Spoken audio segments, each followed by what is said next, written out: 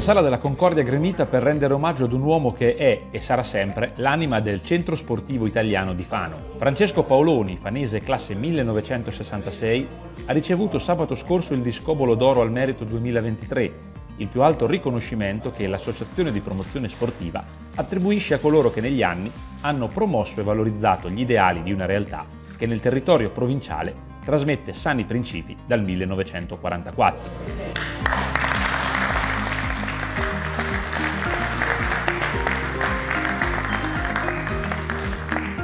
Visibilmente commosso il protagonista della giornata, attirato in sala della Concordia con un tranello da parte di chi, da mesi, era alle prese con l'organizzazione di questa festa sorpresa. Mi avete fatto una gran sorpresa in questo sabato mattina, quindi non ho, non ho, veramente parole, ma non è un modo di dire, è veramente così perché l'effetto sorpresa è stato talmente grande che ancora mi devo riprendere, perché qui in questa sala ho visto tutte le persone, molte delle persone che mi hanno accompagnato in tutti questi anni e quindi è una cosa veramente bella. Io ho passato nel CSI 40 anni e sembra ieri che avevo iniziato da appena diciottenne, forse anche sedicenne, a lavorare col XI con i primi tornei al Duomo e alla fine ci siamo ritrovati qua con questa sorpresa. Dire grazie è poco, ma è la roba migliore, diciamo un grazie a caratteri maiuscoli. E viva il CSI che mi ha dato questa possibilità di conoscere amici fantastici e persone favolose.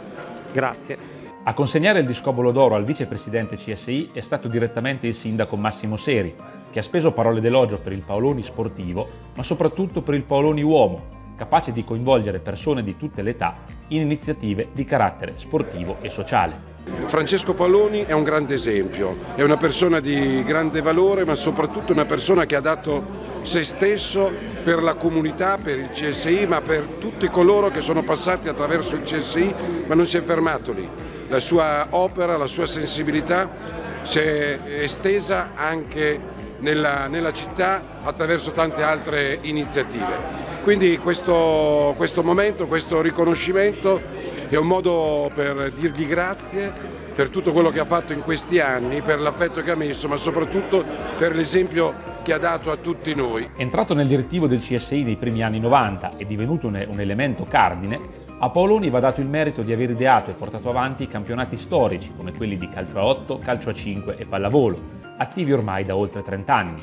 ma anche quello di aver avviato tante campagne di sensibilizzazione come quella in favore della donazione di sangue o per l'allontanamento dei giovani dal fumo e dalle droghe.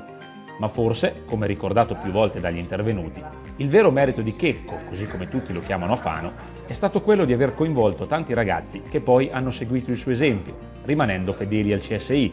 come quel Marco Pagnetti, ora presidente provinciale, che insieme a tanti altri collaboratori è alle prese con gli eventi per l'ottantesimo compleanno del comitato e se il CSI Fano, che era zonale, poi è diventato comitato Pesaro Urbino, è quello che è, il merito è il suo, è di tanti ragazzi che hanno orbitato e lui è riuscito a coinvolgere in questa iniziativa. Sono contento perché iniziamo con questo grande evento per poi spostarci a luglio con uh, le finali nazionali sport di squadra a Pesaro dal, dal 10 al 14 luglio e poi, poi finire intorno a settembre, i primi di settembre perché eh, il comitato zonale è nato il 2 settembre del lontano 44, faremo una conferenza, un convegno dove coinvolgeremo diverse realtà territoriali in cui si parlerà magari di sport, oratori, educazione. Tanti auguri dunque al CSI e congratulazioni a Francesco Checco Paoloni, un uomo che da 40 anni porta avanti degli ideali e che è e sarà sempre l'anima del centro sportivo italiano di Fano.